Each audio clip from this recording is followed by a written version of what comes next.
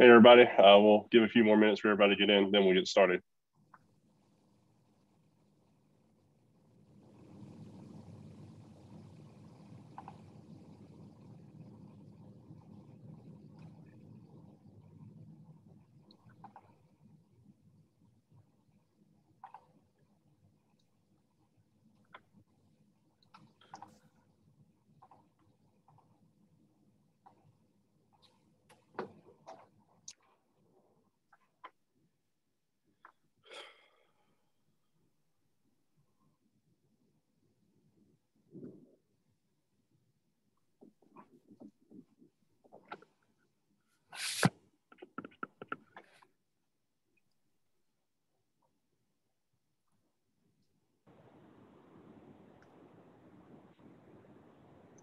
Okay, Scott, do you know if we're going to have an introduction or, or for the Someone- vendor sponsors?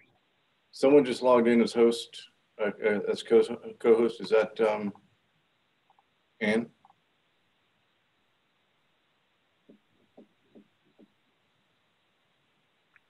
To answer your question, Randy, unsure. Okay, yeah, I just want to make sure if, if we do have a start um, for the the, event, the sponsor announcement that we want to give an opportunity to do that, then we can get started. But I can look right quick, Randy. Give me just a second. I'll look.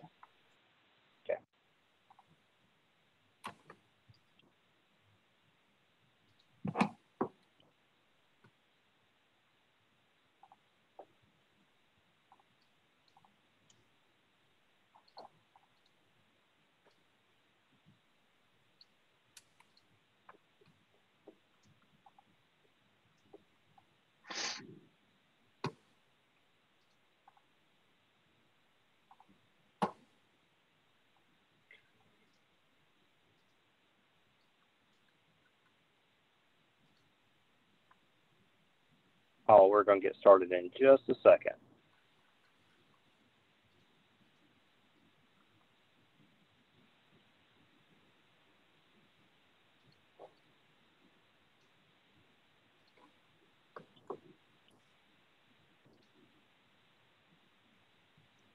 Which breakout session is this one? Two? Uh, yeah, I believe so. This is, you had to ask. Okay, I'm going to jump in. Our sponsor for this session is, uh, oh, that's room one. Hold on. Breakout room two. Okay, our platinum sponsor is Rubrik. Rubrik is a fully automated API driven data management platform which provides our state and local government partners with data access and ensures data integrity no matter where their data resides. Rubrik removes traditional bottlenecks for managing data across the enterprise and converges all components necessary for building a resilient data protection, protection architecture into a single software. Rubrik utilizes the same code base across all platforms and is built on a scale out architecture, which allows for continuous management as a single system and simple unlimited scale with zero single points for a failure, no forklift upgrades and freedom for vendor lock-in. Learn more at rubrik.com. Thank you, Rubrik. All right. Thank you, Amy. Thank you, Rubrik, for the sponsorship. Definitely know it's important. So hopefully everybody was able to get to some of the sessions uh, and, or some of the booths, virtual booths in between, and then we'll have our session after the or another time after this. So we wanted to switch up a little bit this go round uh, from the strike team perspective and give you some things you need to know. Uh, if you were in the business session, you did hear from Rob Main. He had the stats up on the screen uh, about how many cyber-based events there have been, and we've been involved with a lot of those. Um, so we felt that the things you need to know would be a good start. But before we do that, um, actually, let's make sure that all of our uh, main lead for the strike team uh, group is able to introduce and say who they are so you know who the, the players are behind the scene. So we'll start with whoever wants to go. But Mark looks the No, no, no. appealing. Let's go to the next slide, Scott. okay. We'll do it in alphabetical order. Like I got, look, man, I planned this out. Leave me alone. For once. Um, Once. Uh, I'm Scott Clark. I'm the uh, IT director for the town of Fuquay-Varina, and I'm one of the strike team leaders. I'm Chad Coble. I'm the CIO at Stanly County. Hey, I'm Randy Kress uh, with Rowan County, Assistant County Manager and CIO. Hi, I'm Ted Norris. I'm with Onslow County ITS, and um, I work for Glenn Hasted, which is a, a big problem. I want everybody to know that. Mark Seelenbacher, Henderson County, uh, one of the IT strike team leaders. And uh, Shannon is also one of the leaders, but she is uh, doing public records right now. She's the uh, assistant to, as she likes to say, the strike team.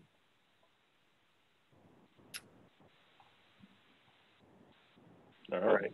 Mark, what's next? Uh, let's uh, next slide. Uh, we want we briefly talked about the uh, JCTF uh, in the business meeting. Um, that was a big uh, a, a, a big deal for us anyway. It was the formalization of the, of the Joint Cybersecurity Task Force for the state of North Carolina. Um, we are the strike team is, is part of that. North Carolina National Guard Cyber Unit is part of that. The Fusion Center. Uh, I don't know if uh, Carly Sherrod is on. Doesn't look like it. Um, uh, she she is uh, uh, she and Tom McGrath and uh, who else is up at the Fusion Center? Randy, Scott, Uh, Mark Brighter, right? I believe. is part of Ryder that. is yeah. Uh, so the Ryder. the uh, NCI Zach, um, North Carolina Department of Information Technology, so Rob Main, Maria Thompson, um, those folks, uh, the FBI, Secret Service, and uh, then other entities um, are as required uh, based on need. So if there is, uh, for example, an incident that uh, hits the social Department of Social Services, then High Ready Ready uh, up- at uh, DHHS, he'll be uh, part of that as well.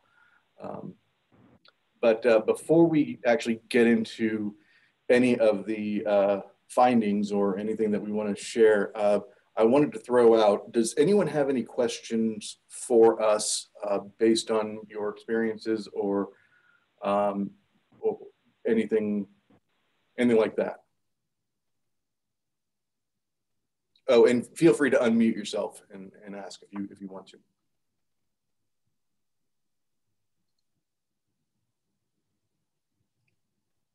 And one quick comment, and um, th- to my understanding, this format of this structure is unique to North Carolina um, uh, throughout the nation. Isn't that correct? Yes. Yeah, that's correct. Um, there's we he- keep hearing that that uh, there's a lot of interest in other states um, that don't have any any sort of organization like this. Uh, so it is uh, it is pretty interesting, pretty unique, and and, and we're kind of proud of that.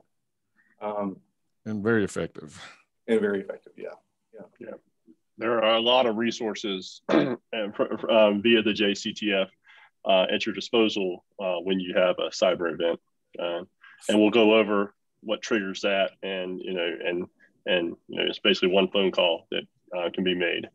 So- Um, uh, you know what? I, I completely forgot, and I shouldn't have. But uh, Amy Walker, who is also on here, uh, she is also a member of the strike team. she's also one of the, one of the leads for the K-12 side. She uh, is a is a, a phenomenal resource for uh, uh, liaising with our K-12 partners. So sorry, I forgot to mention that. Right. So Go ahead, Mark. Scott. No, go ahead. All right. So, um, so if you uh, have a cyber uh, event, uh, you're required to uh, report that to the state. Um, uh, so, and um, under North Carolina General Statute 143B 1379. And what is a cyber uh, uh, incident? It's an event that could jeopardize the confidentiality, integrity, availability of critical infrastructure.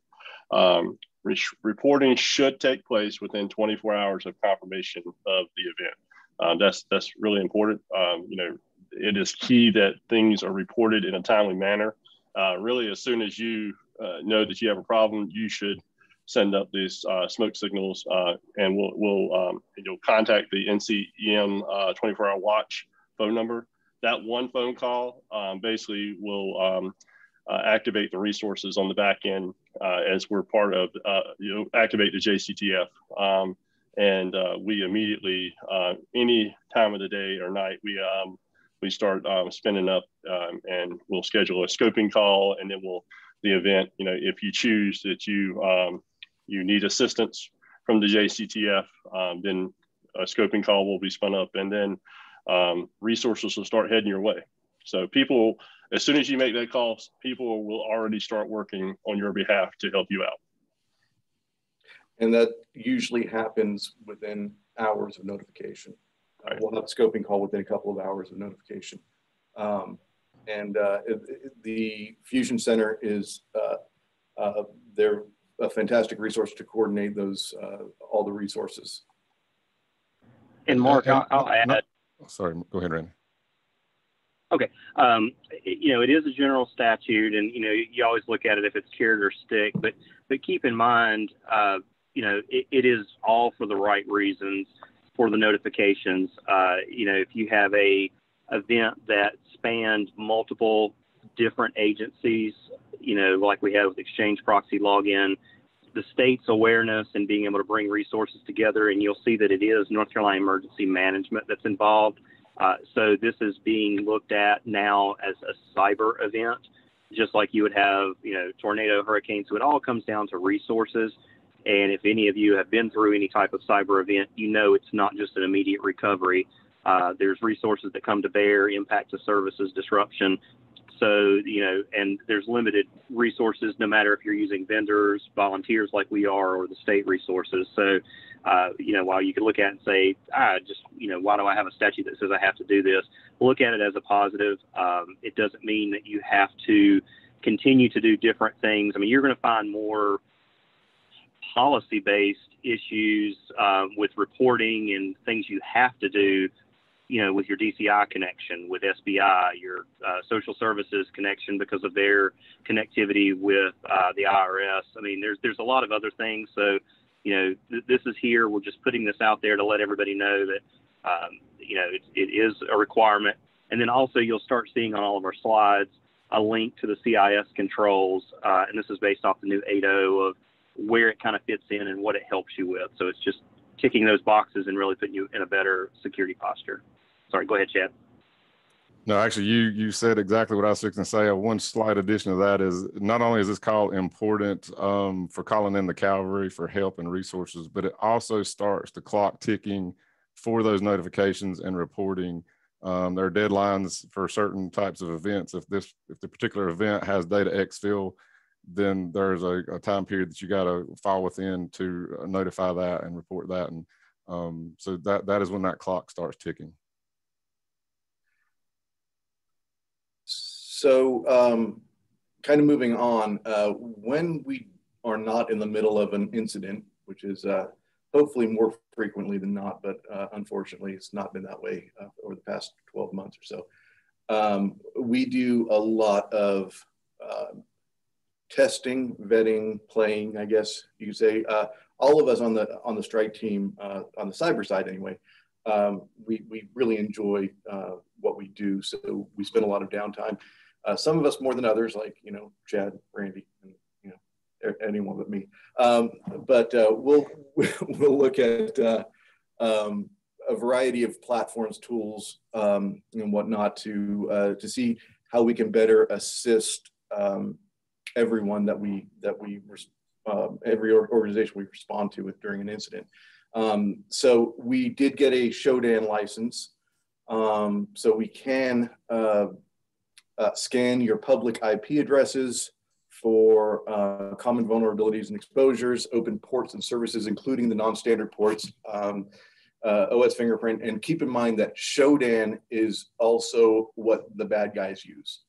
Um, so whatever you can see from Shodan, that's also what they can see. So they know what kind of operating system you're, you're running uh, on an exposed IP address, um, what type of equipment it might be, uh, and so on and so forth. So what we do is uh, if you want to be included, you would provide uh, your public IP address space to us. You can email us at itstriketeam at nclgisa.org. We will add that to our, our uh, Shodan instance and uh, we will notify you uh, any um, any anomalies that um, that that pop up, and so that you can potentially plug those holes. Um, common one that we see a lot are um, are uh, HVAC controllers and things like that. Um, but uh, we will see, uh, for example, the, in the security session, one thing that was talked about quite a bit this morning was RDP. Um, that is something that shows up quite frequently in our Shodan reports and, and one of the reasons why uh, the state put it, pushed out that mandate um, to shut that down uh, because of, of, the prevalence of, of exposed RDP uh, um, servers out on the internet and uh, the fact that they have been uh, no, their known exploits. Right. I mean, uh, Shodan will go to the, when when it finds RDP It'll even go as far as showing um, screenshots of the RDP uh, logon session. And if we can see that, that's what the threat actors are seeing. So, um, you know, we're trying, we're trying to use a lot of the tools that the threat actors would be. Uh, of course, we're trying to use those tools to, uh, uh, you know, mitigate having another cyber event. But um, I can't say it enough. If someone was in the security session this morning, they heard me get on my RDP soapbox. Um, RDP there's no there's no need to uh, there's no reason to use RDP. If you think that uh, you you have to have RDP, we'd be more than happy to set up a call, set up a session, um, or you know a Zoom session or whatnot, just to chat about your options.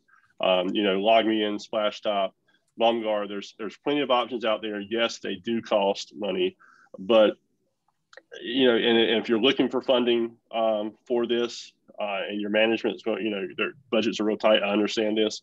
You just have to explain it to them. You know, do we spend three thousand dollars, four thousand dollars a year? I'm just throwing those numbers out there. So, you know, some you can get some things cheaper, um, or do we do do we want to be uh, the next cyber event and uh, lose tens, thousands, hundreds of thousands of dollars uh, off of um, you know um, you know lost time? You know, uh, you, you, just name it. You, know, you, you think about the worst day in any IT um, uh, professional's life is the uh, day you have a cyber event. So um, RDP is, there are multiple products out there that can be uh, utilized remote access to um, servers, to workstations um, without setting up VPNs. I mean, you know, you, there's no need to expose RDP to the outside world. And quite frankly, there should be no reason that you um, should require RDP even internally. I mean, even if you have it locked off from the outside world, but you have it open, you know, kind of free, um, freestyling in, inside your network, that once a threat actor gets in, they can easily laterally move across your network and it takes no effort on their part to do that. So um, I will get off my RDP soapbox again and turn that over to another strike team member. Oh, uh, go ahead, Jess. I'll, I'll just add to, to, Scott's soapbox. And I, I think, I know I've been in this situation before, and I, I suspect that a lot of our friends that are, are listening right now um, have been too. But if, if you've got a vendor that you're working with and they're telling you in today's environment that you need to open up port 3389 and allow them the remote desktop into your server, then another vendor yeah, then you you really need to think about that. You know that that vendor does not have your best interests at heart, and if I mean if they're ignorant about it, that's bad. If they understand the the dangers and they still want you to do it, that's even worse.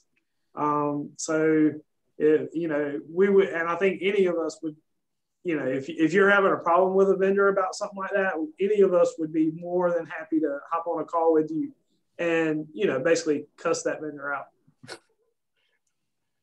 Shannon's really and, good and so at that, by the way. Yeah, yeah, I'll get Shannon. So I, will I'll make this point, and I heard when Mark said it. I don't want anybody to be on the fence about um, when you provide those IP addresses. Really, all we're doing is providing attribution to your organization.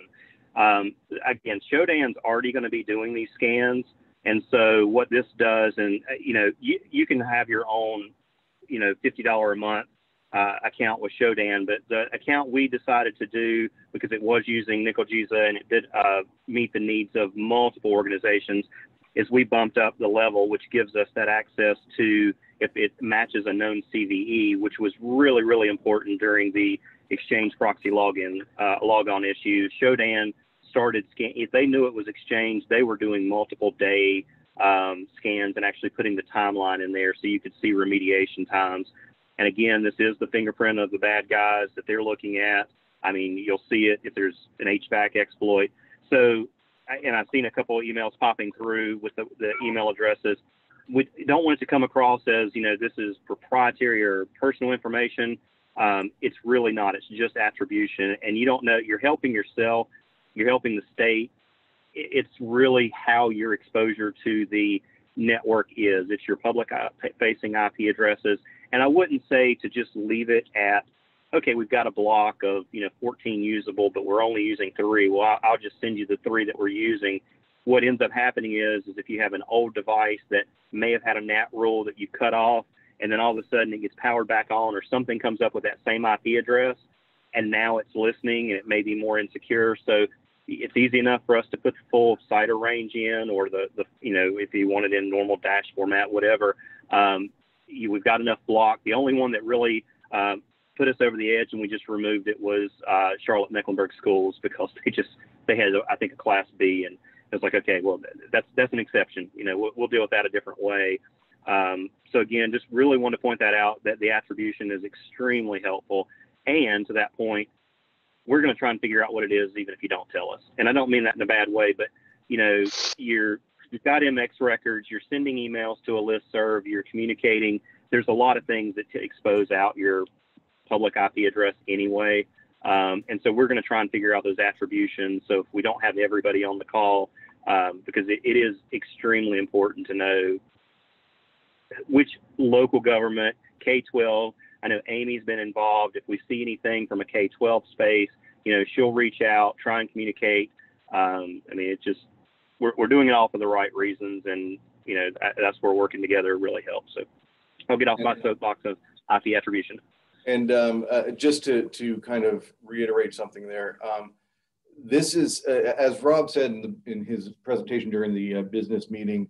Um, you know, this is just another link in that chain, and we are working very closely with the state, with the with National Guard, to provide this multi-pronged approach to uh, cybersecurity and and and just really laying on the, the layers of of, um, of security. Uh, uh, it, it's it's there's nothing um, nothing nefarious or nothing that that you know people are, are are worried about. You know, I don't want the state to see this, that, and the other.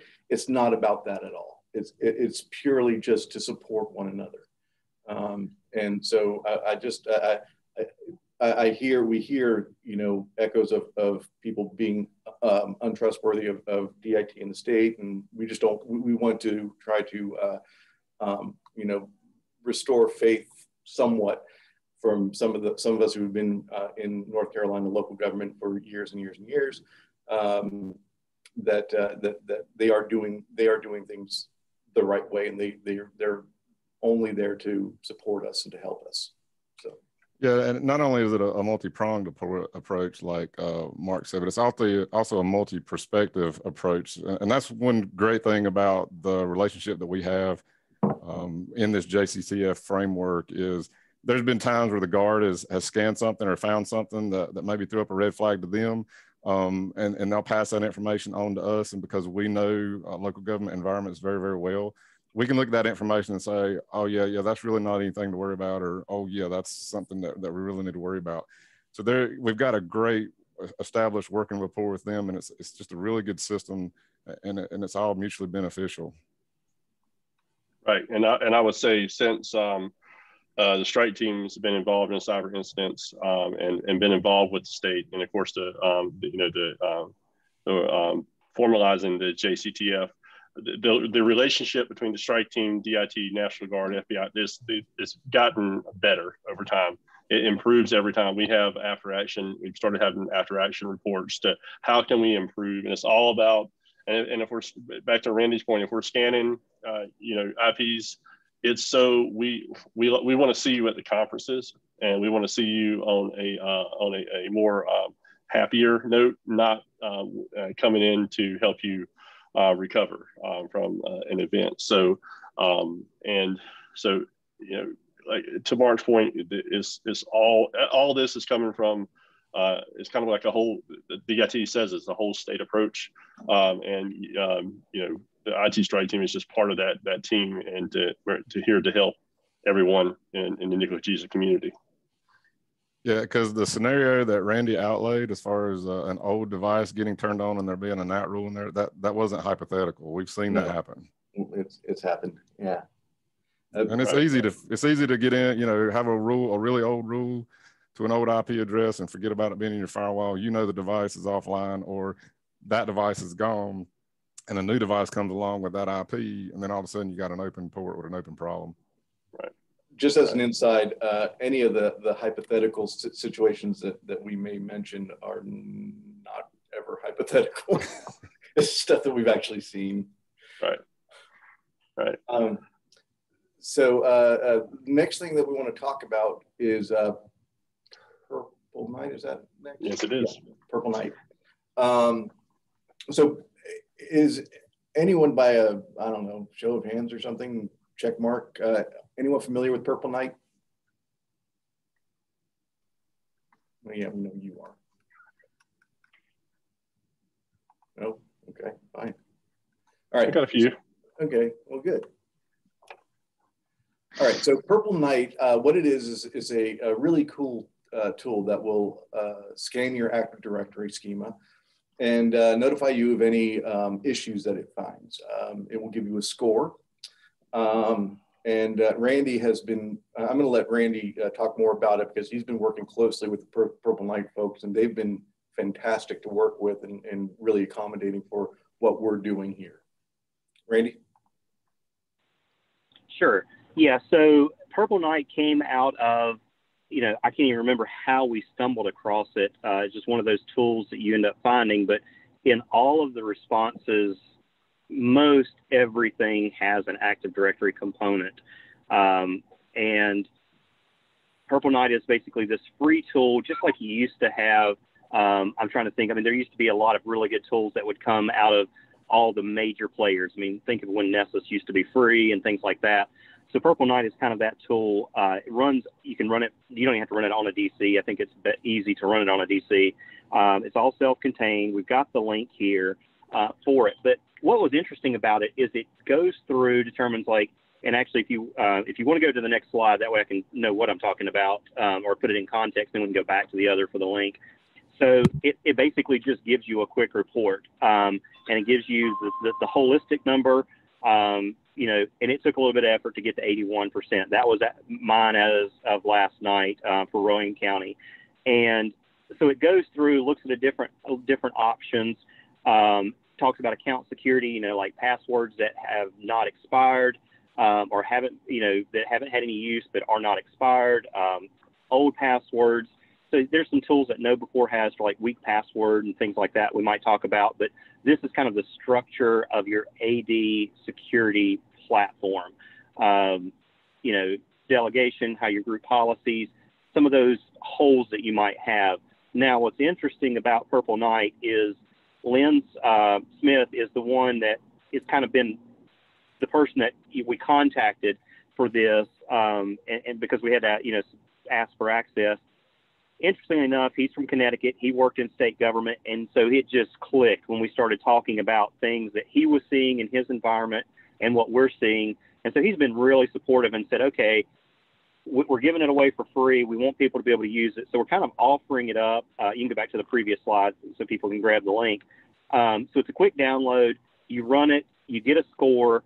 And so just kind of like you would do a password complexity or things like that, since Active Directory is so much of a piece, we all thought it would be a neat gamification, if you will, for, hey, we're starting in spring. For those that want to participate, run your scores now you're you're you're going to fail. I mean, in most cases, I mean, it's going to be pretty low. I mean, like I said, it took a long time just to, uh, going through some processes to get to 81, um, and that and you still see the, the, the other scores. so with that, we want to go back into the fall session and say, okay, who's improved the most? You know, that means you've just put some time into looking at security. You're trying to improve. Um, and then, so what's the biggest gap between here's what your score was and here's where it is now? Uh, I thought that'd be really good. And on top of it, uh, Lynn with Purple Knight and uh, Paris have, you know, told us that they'll put engineers. We can get on Zoom calls um, and actually walk through. Because I said, you know, a lot of our local governments are going to be running very similar Active Directory configurations, and there's going to be certain pieces that everybody's going to be seeing. And they said, oh, that's great. We'll get some solution engineers, not look at anything from a product perspective, but just literally changing group policies, going through um, figuring out, like we saw some earlier ones with uh, Azure Connect doing like Microsoft Online accounts, those MSOLs. Uh, they changed some of that and adapted, but they'll offer to come in, and do a session kind of with our NCLGISA group, and it can be more than one to just kind of tackle some of the common issues. Uh, so again, the tool's there, easy to download. We've got the form link to kind of post your, your scores. Um, and then we'll just do it again in the fall. Um, and then whoever wins, it'll be in person. We'll figure out something really neat. Um, I mean, the board's really good about coming up with cool prizes and concepts. So I'm sure there's going to be something good for it. Uh, plus, it's just improving your cyber hygiene. It's a quick, easy tool. Um, anybody else want to say anything more? Yeah, I, I, I, just want to jump in and say, um, as you do this, if you if you want to participate, we uh, Ted put the uh, the link to the the download and the form uh, in the chat. Um, but if you do want to uh, participate in this, uh, the form is uh, it, it's only visible to us on the back end. So nobody can see what your score is and it's, and it's nothing to, to, to be embarrassed about or anything. But the biggest thing that we want um, is if you do it now and then do it again in the fall to see how much you've improved, um, is to keep track of the of the remediation steps and, and let us know like if, if you're the most improved, we want to know what you did and how you did it and and uh, and you know give you credit where credit's due, um, give you the kudos that you deserve. So uh, yeah, I, we, we encourage everyone to participate in this because it's, it's, it's really uh, it it takes less than a minute to run against your your AD domain, uh, your AD, and uh, also the last thing that I, I uh, oh, and Matthew asked, where do you run it? You do not have to run it from uh, domain controller. It's just a, a, a domain join PC. Uh, the last thing is that um, no special privileges. No special privileges, right? Uh, the last thing to say about it is that if you are in a uh, an organization that has multiple um, forests, um, you can run them separately against uh, each forest, and then you can fill in the form, uh, you know, fill in three forms for, for each fund, or as many forms as you need. Rather. And keep in mind, I just want to make sure that nobody, you, you know, not asking for anything but the numbers. You know, it's that's just to keep up with the score. Um, I, I whited out the username that I ran it under, which gives the NetBIOS name and then also your domain name. So it's there's nothing to it except just the number. Um, so I'll, I'll just and add. We'll, like we'll get there. Yep. Sorry, Randy. Uh, one, one great thing about this tool, I think that we all like, is that it really gives you some some specific steps to remediate the the problems that it finds. I, I will uh, kind of, like I said, as a disclaimer, um, just be careful and kind of understand the changes you make because um, because they're I, just me personally, I know I I, I broke uh, something trying to beat Randy's score. Uh, so um, just just make sure you're you're careful with that. But again, like I said, um, it it really does lay out the the remediation steps really nicely. Right. You can't, you can't just well, hold yeah. on a second. He can't just throw that out and then not tell us if he actually beat Randy's score. I did not beat. No, no, no. Well, hold on, hold on. I, I, I will say this. No, but don't do listen to Ted.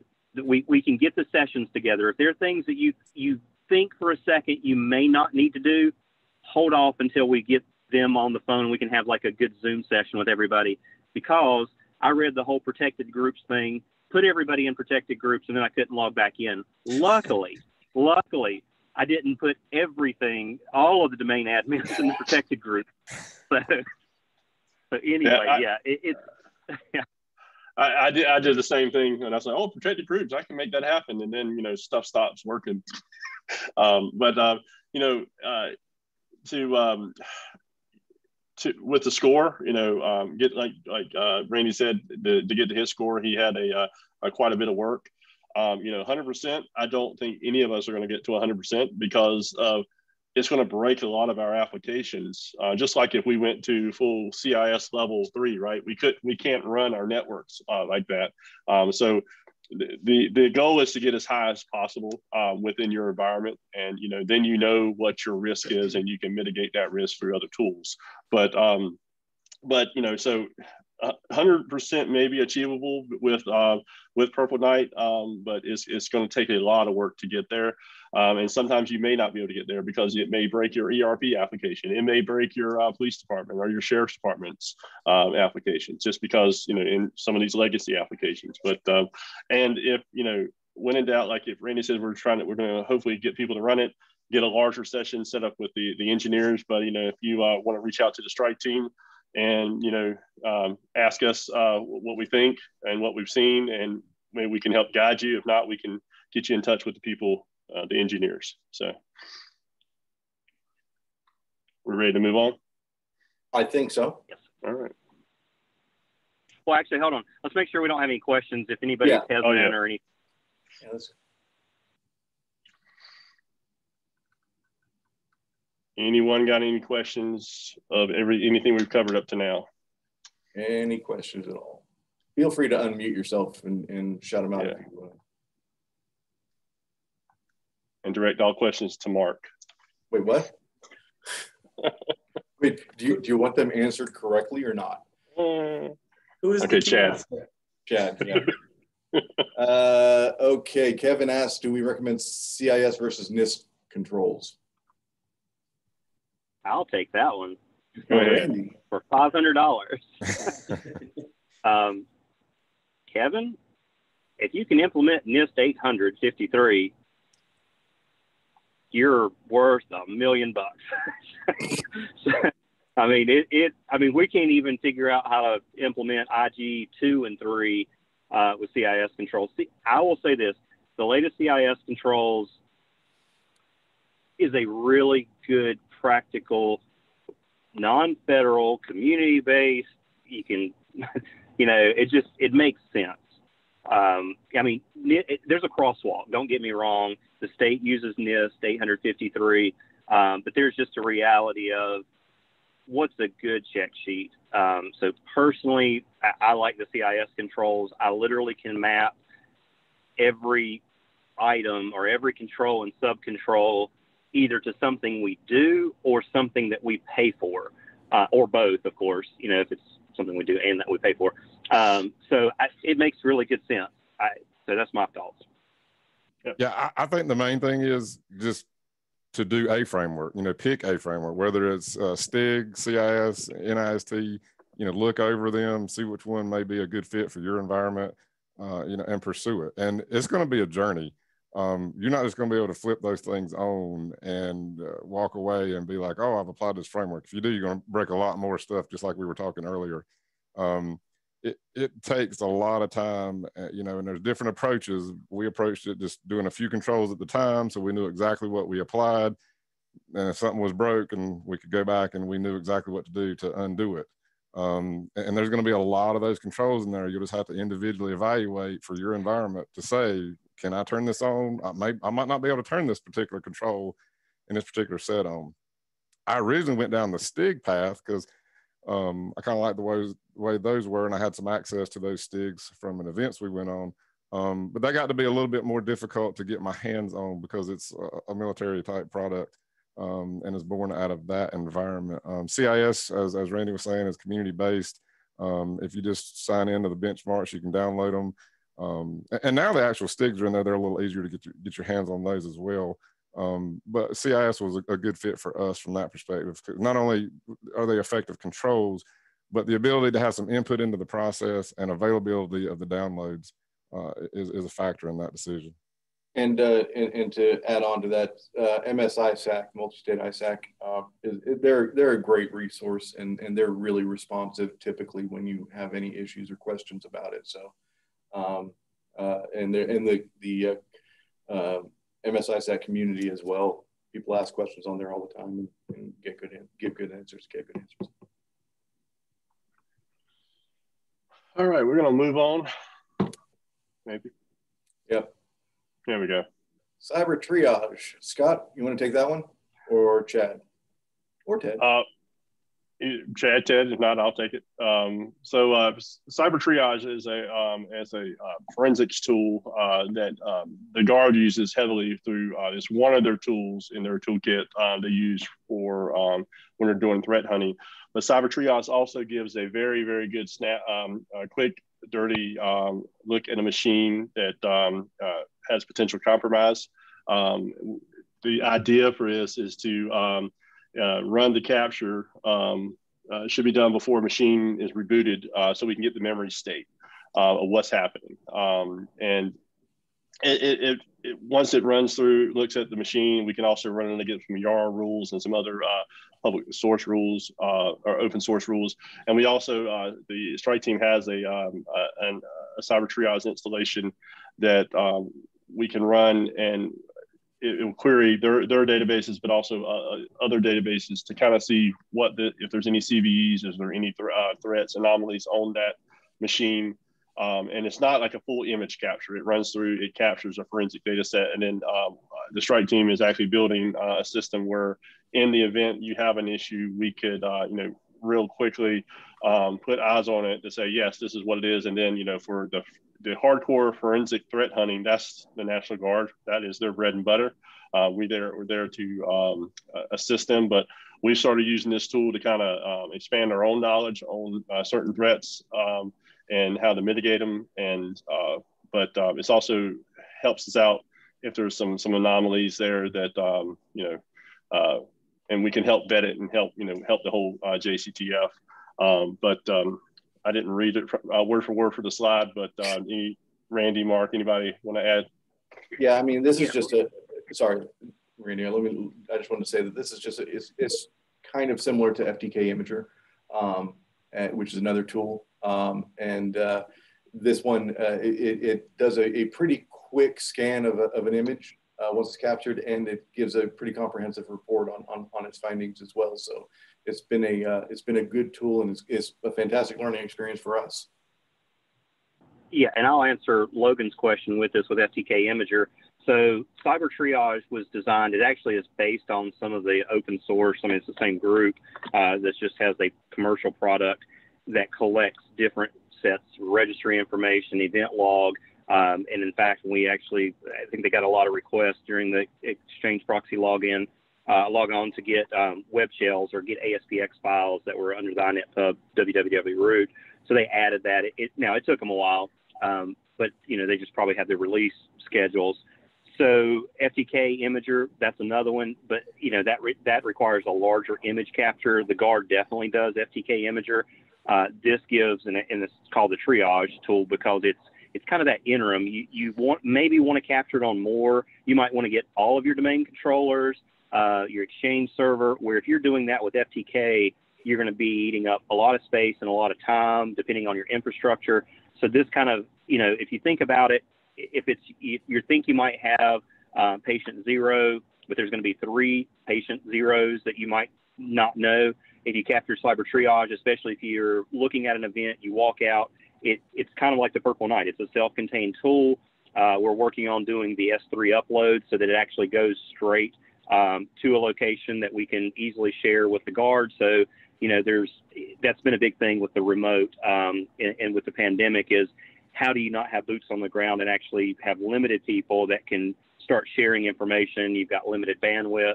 Um, you know, when you're moving around full FTK images or EnCase images, you, you somebody's dragging a hard drive around uh, in most cases, and, and depending on where you're at in the state, that might be pretty far away from Raleigh.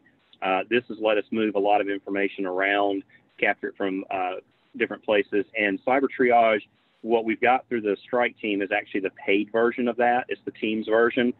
Uh, so that lets us kind of put things in very similar to FTK with the cases, in case with case management.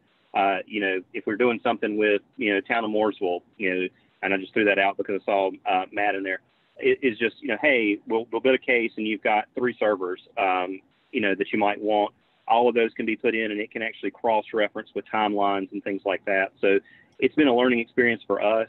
Um, yes, Matt, you are very famous. You're famous. Um, so, you know, it, it's a really cool tool. Um, we'd be happy to show you what it does. Like if you wanted to run it. Now, I will say that's probably another neat thing we had talked about when we were preparing everything is some of these tools are better just to kind of say, hey, well, let me go ahead and run it and see what would I have to go through. Um, you know, you'd be you'd be pretty amazed at some of the things. So you know, we'd be happy to kind of set up and, and run through. We do a lot of you know ad hoc Zoom meetings um, where we're just getting together and you know looking at some stuff. So it, it, it's fun, it, lots of learning from it, um, and so we'd be happy to do that. Anybody wants to add anything else to cyber triage?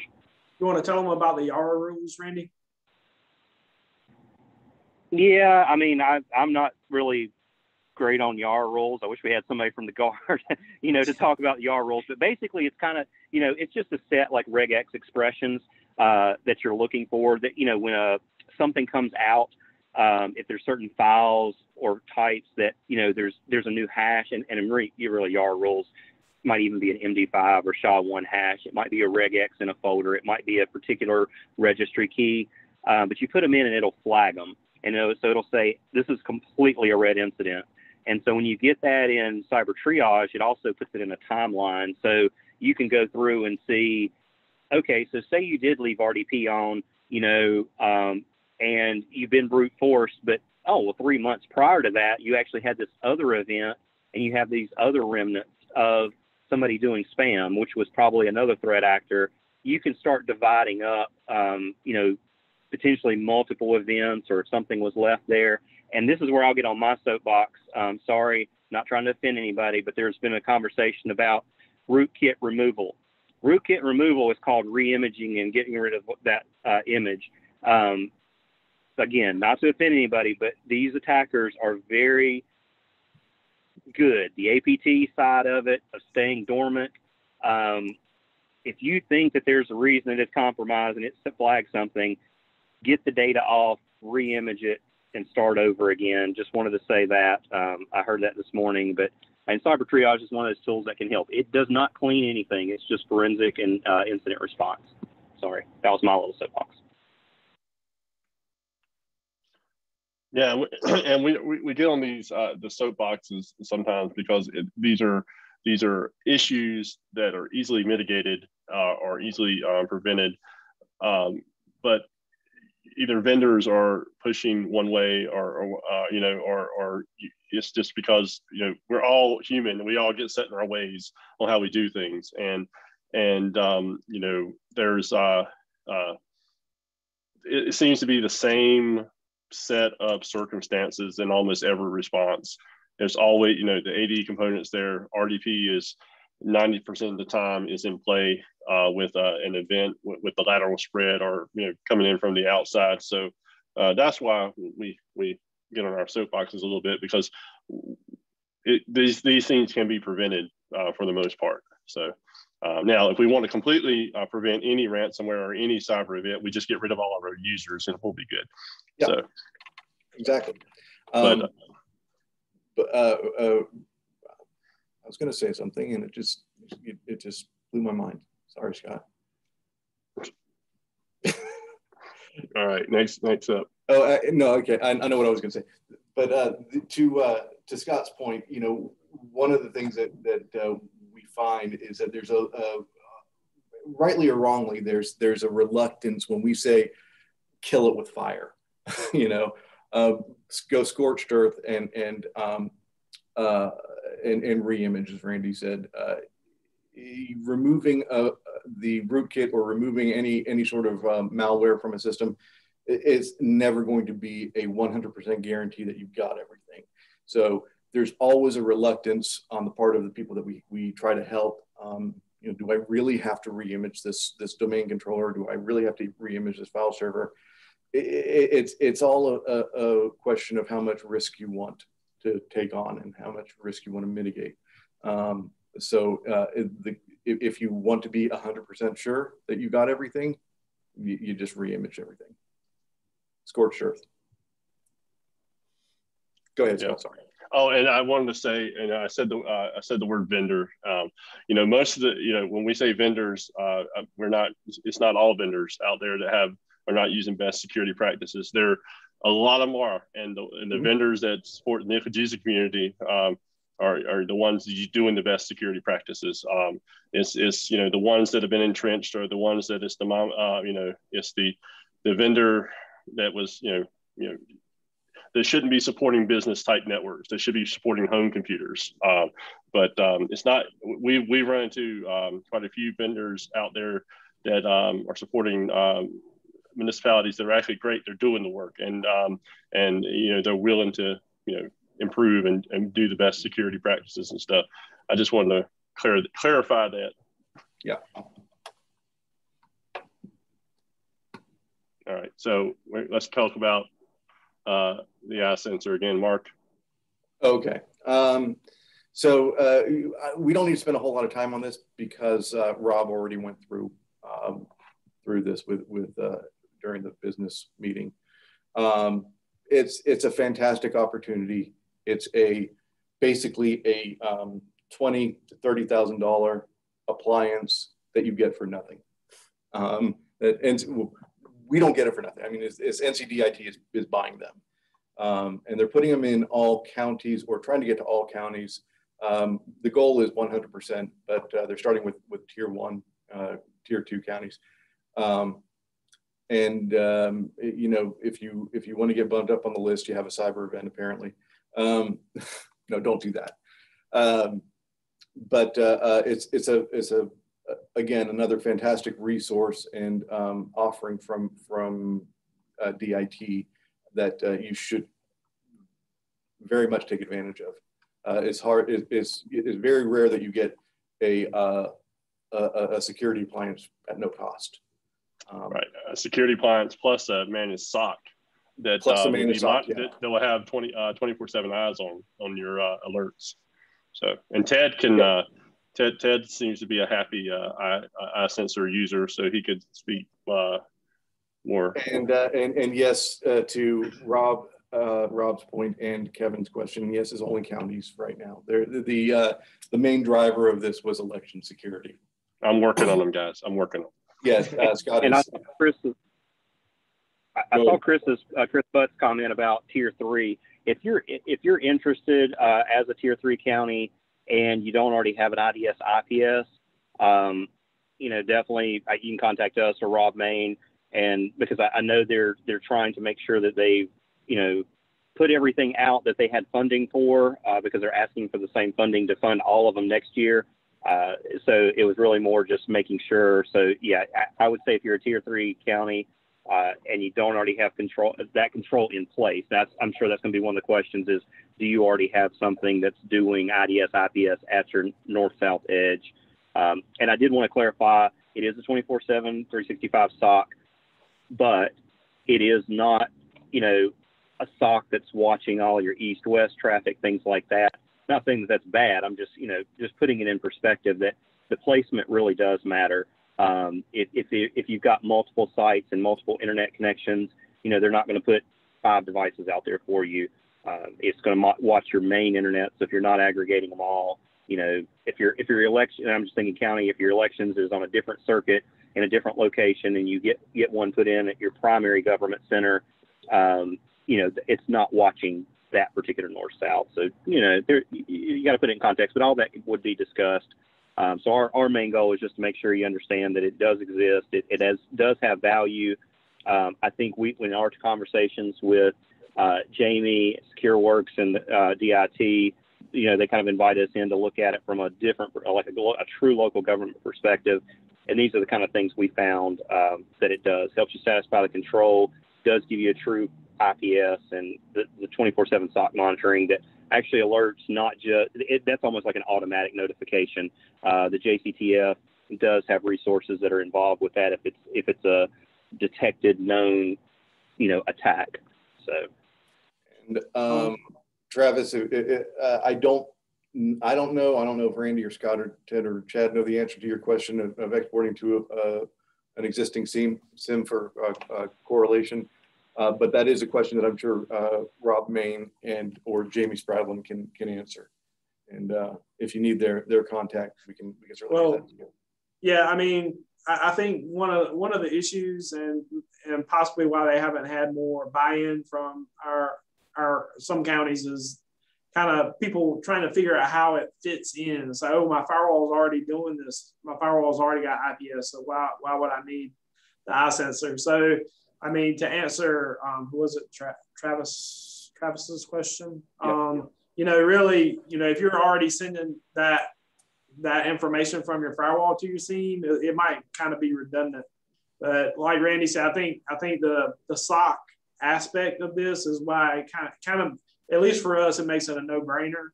Um, so that that part of it, I mean, I don't know a lot maybe y'all have people in your IT departments that you know everybody can sit down in front of Wireshark and just you know say exactly what that means. But you know most of us are just regular old sysadmin guys. So to have those those um, trained professionals in the SOC watching your traffic and that kind of thing is is a really and especially for free. It's a um, it's a really great service, um, and I think it, it's something that anybody could use and let me let me answer Tony's question um, because I, you know, this is this is the reason why we started looking at it as well because I originally wanted east-west traffic. I was under the impression that I could look at east-west traffic. Um, it, you you don't want east-west traffic with this. I mean, not with the product that they have. There, there's other tools. There's I mean, there's a different way, but what what the contract states and how they're what we found out from Jamie. Um, and I'm I'm gonna mute here for just a second. There's an ambulance. Sorry, I want to finish that. Okay, uh, so don't don't use it with the um, 10 gig. I, we did find out in review that it, it, can they are they are one gig interfaces on it. Um, so you know depending on where your firewall is, um, if your firewall itself has 10 gig ports, um, great. If you've got 10 gigs of internet, great. It's it's it's going to be out of what they bought. Um, but if you have you know copper gig interfaces, that's possible. They can do some fiber.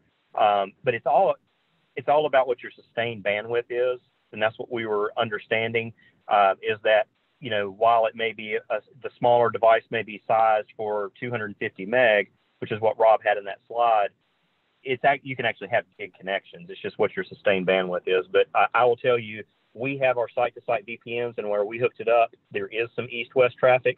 The rules are not good I mean, in my mind, I think he'd just be messing with it all the time. So, Tony, I just at least want to answer that for the East West. I wouldn't. It's I, that's a bit north south. And we, you know, we can really get into the weeds of all that right now. We probably don't have time, but I would say if you're if you don't have an iSensor, if you're a county at least, and you don't have one, and you you kind of want to you're not just not sure about it, and you don't trust the DIT guys, just reach out to us and we, we will be happy to talk you through it. And you know specifically talk about placement like randy just was because i think that's definitely um, kind of caused some confusion um, out there. So and we we've seen people put it like outside their firewall which is definitely we don't think is a very good idea. Yeah and to answer uh, heath's question um, right now it is only for uh, counties um, uh, municipalities, K-12s, community colleges, they're uh, they're not included in this initial um, rollout, um, but um, you know we'll see. As speaking for, as a as the uh, municipality uh, rep on the IT strike team, I'm pushing them. Yeah, he is. Well, and I think I think the reason for that way back then was the elections, right? Wasn't right. It? Yeah. Yeah. Yep. Yep. Uh, all right. Any, uh, short on any time. more questions on the uh, on the iSensor? Yep. Yeah, we can uh, iSensor oh. or anything else. Oh, okay. We're at the we're at the end. So yeah, we can. Yeah. Any questions that y'all have? Feel again. Feel free to unmute and uh, or you just throw them in the chat.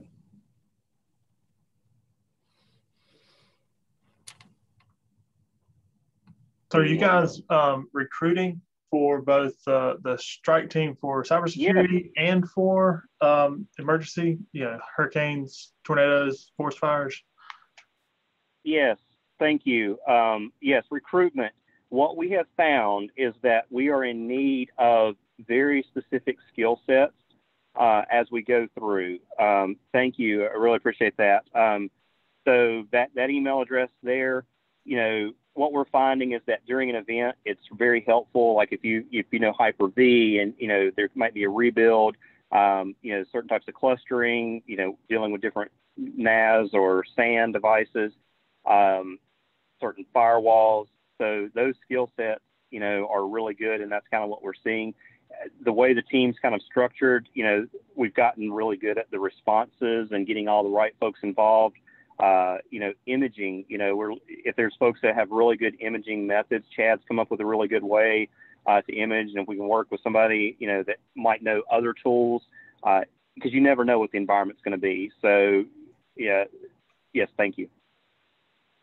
Yep. And then, um, you know, just uh, email the IT strike team at nclgisa.org. Um, and then, you know, the, for the skill sets for the uh, cyber uh, side, you know, like Randy said, we're looking uh, at uh, specific skill sets. Um, and uh, and for, for, when it comes from the EM side for uh, responding to uh, hurricanes and whatnot, um, you know that that's more general IT uh, skills, um, and because usually you're putting um, in a, a, EM facility where you're going to have to support, you know, make sure the network, you know, you don't have to know networking per se, but you make sure that you know, they still have internet, their printers work, and you know, end user support. So it's um, the strike team as a whole has a very a wide variety of expertise and um, people there, and um, you know we uh, we usually do ask if you do um, you're on the strike team and you do get deployed to a cyber incident or a um, you know EM event, um, we will uh, we will ask if at least um, uh, you know you could do at least 48 hours. Um, you know that's not 48 hours you're working continuously. There's usually shifts, but um, that way we can plan rotations out um, and you know, the, the, the, the, one, the strike team uh, members that are on the call now that are labeled on here, that, that's your uh, strike team, uh, um, you know, the leadership of the strike team. And we're, uh, we're the cyber uh, range, the core cyber group and the core um, of the normal uh, strike team. But um, we do bring in a lot of other um, um, expertises along the way. And, you know, we responding to events, we have, um, you know, got more of those people to uh, want to volunteer and pay it forward after helping them. So, um, uh, but yes, we were looking for any and all expertise. So if you're interested and want to have a little bit further conversation, just email us at the email address. In fact, it, all the strike team leaders, if you email that uh, email address, we all get the messages and one of us will respond to you. Um, and if you, uh, if you need us uh, directly, um, you know, that, that number, uh, the 919-726-6508, uh, uh, that actually rings uh, my phone, Mark's phone, and Randy's phone um, 24 7. So, um, but um, does anybody else have any questions? Scott, if it's okay, I'm going to jump back in and again thank our platinum sponsor Rubrik. And I also, we want to end with ThinkGuard is our gold sponsor for this session. And at ThinkGuard, unlike ordinary service providers, data protection such as backup and disaster recovery and cybersecurity is all we do. We don't take over IT departments. We're in the business of protecting them. Thank you to thank uh, ThinkGuard. Thank you to Platinum or uh, Rubrik. And guys, please make sure you go visit all of our uh, BPs that are out there in the exhibit hall and make sure you uh, thank them for being here with us and supporting us. Sorry, and Scott. Don't, and don't forget to tip your waitresses. Right. Yeah. Thanks, Amy. Thanks, Amy. Thanks, Amy. All right. See y'all later.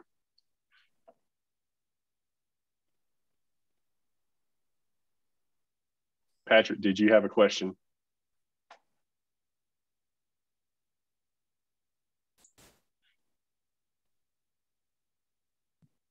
We got nowhere to be. Yeah, yeah no, we're just hanging out. That's one of my guys. He may be. He may be. Uh...